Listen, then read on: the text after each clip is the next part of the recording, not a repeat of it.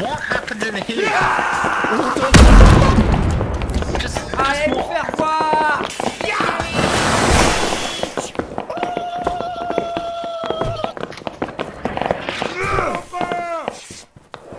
What happened?